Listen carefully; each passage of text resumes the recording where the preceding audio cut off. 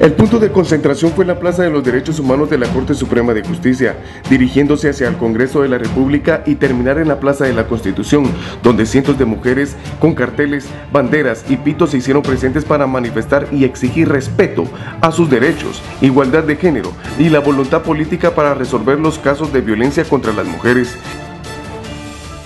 Según las estadísticas del Ministerio Público, los tres delitos más denunciados en el país son violencia contra la mujer, en el 2015 se registraron 56.704 casos y en el 2016 se registran 50.014 casos amenazas. En el 2015, 47.762 y en el 2016 se registran 43.677.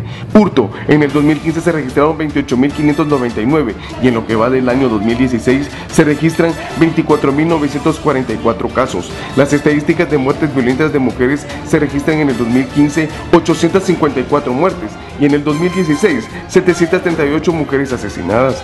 Pedimos que cese la violencia contra las mujeres, alto a las muertes maternas y otro tipo de denuncias escritas en los carteles que portaban durante la marcha.